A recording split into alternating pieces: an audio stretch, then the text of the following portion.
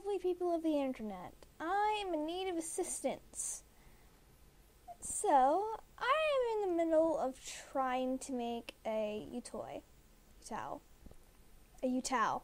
I'm. I just finished making all of her samples and I don't know how to configure them. I don't know what any of the words mean. I don't know what offset means. I don't know what constant means. I don't know what cutoff means. I don't know what pre pre-utterance means. I don't know what overlap means.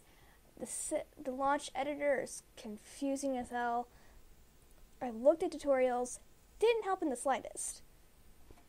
So I can't figure out anything.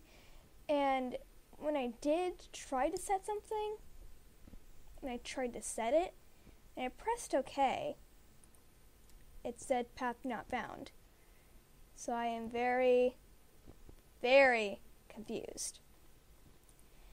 Please, someone help me. I want to get something out soon before Christmas. So please, someone help. Thank you if you do. And good night. Bye.